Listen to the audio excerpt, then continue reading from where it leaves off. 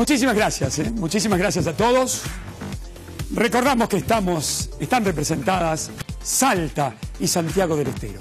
Santiago del Estero, Salta, Misiones, San Luis, el país, los jóvenes, lo mejor de nuestra vida, como diría una vieja telenovela a nuestros hijos.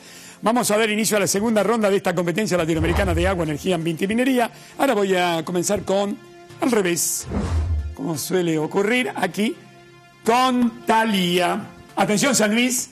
Atención, Tali, ¿estás preparada? Sí. ¿Eh? Bueno, en esta oportunidad todas las posibilidades son tuyas. Tú eliges. La 1. Uy, ¿cómo pensaste? Bueno, el tema es, a ver si estudiaste esto. ¿Cuál es el tema? Lo vemos en el estudio y en todo el país. Sales.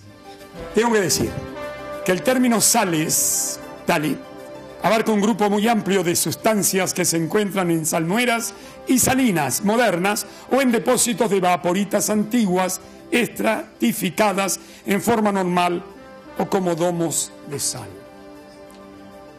Entonces, tenés que decirnos, por lo menos tenés que mencionar tres tipos de sales que se explotan como minerales industriales, para lo cual tienes un minuto y todo San Luis contigo.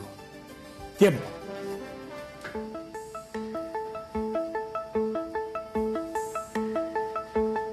Sales de borato. Sales de litio.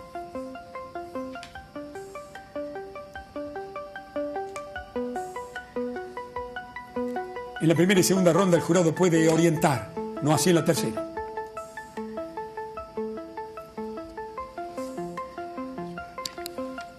Y sal alita. Todavía falta un millón de tiempo. Ya está. ¿Eh? Mira. ¿Ya terminaste? Sí, Quedan 20 déjate. segundos. Vamos a ver, ¿y qué te parece?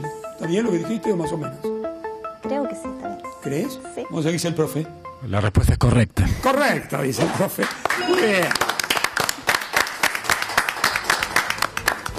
Profe, ¿quiere- ¿querés agregar algo, Eduardo? Sí, básicamente, digamos, la- las salmueras contienen una cantidad de elementos químicos, tanto, eh, digamos, que pueden al solidificarse formar minerales o no. Las salas de litio, por ejemplo, no forman minerales, están siempre como solución. Entonces, por eso no tiene nombre de mineral. En cambio, la lita, la silvita son nombres de minerales porque cristalizan y eh, constituyen entonces así minerales. Muy bien. ¿Vos querías decir algo, Pepe? Para Mendoza hay una salina enorme que se puede visitar, es impresionante ver un mar de sal y con montañas. Es muy muy lindo ver. Hola, conoces, man? Sí. Muy bien. Bueno, ¿qué tal, Rocío? ¿Cómo estás? ¿La estás pasando bien, Rocío? Sí. Con esa sonrisa, una sonrisa ganadora. ¿Eh? Las dos son tragas. ¿eh? Las dos son estudiosas. Bueno, Rocío, tu amiga Tali de San Luis. ¿eh? Te ha dejado la 2, la 3, la 4, la 5 y la 6. ¿Por cuál te decides? Por las 5. La 5, cocinero. Veremos. ¿Cuál es el tema? La 5, qué rápido va esta máquina. Los productos derivados de la destilación del petróleo. Es el tema que te ha tocado. ¿Estudiaste esto? Tengo que decir. Veamos. La industria de refinación del petróleo transforma los crudos de petróleo en numerosos productos destilados según sus puntos de ebullición Posteriormente, los compuestos obtenidos son refinados nuevamente en otras unidades de proceso, donde, Rocío, esto se modifica, modifica su composición molecular o se eliminan compuestos no deseados como el azufre. Por lo tanto, queremos saber, tenés que mencionar cuatro productos derivados de la destilación o refinación del petróleo.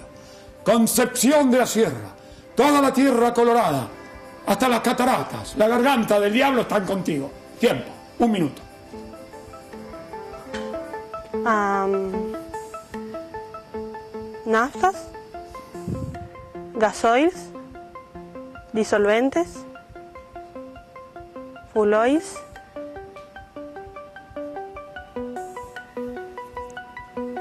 em,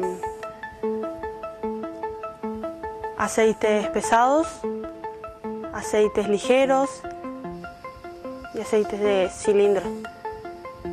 Puedes seguir, te quedan 27, 26 segundos. Butanos, eh,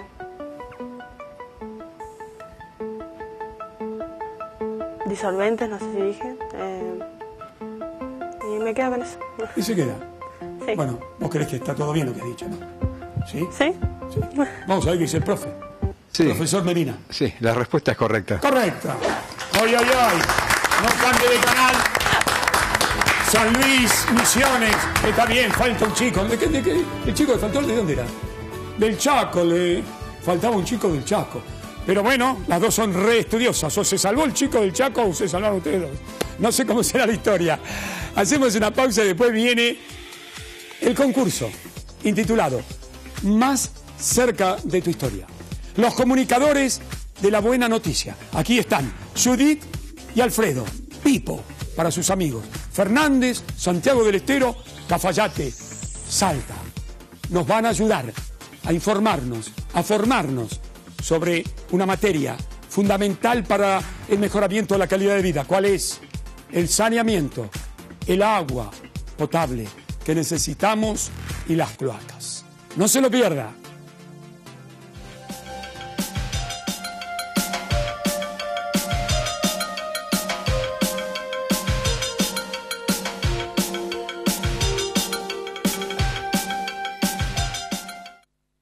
Supercemento, tecnología de avanzada en la construcción de emisarios submarinos de Mar del Plata y grandes emprendimientos de saneamiento y energía de toda la Argentina.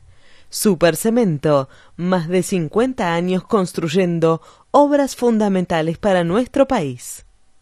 Segundo acueducto del Chaco, presidente Néstor Carlos Kirchner. Un desafío mayúsculo del Poder Ejecutivo Nacional, 510 kilómetros de cañerías que llegarán a 26 ciudades de todo el interior chequeño para llevar agua a 350.000 argentinos.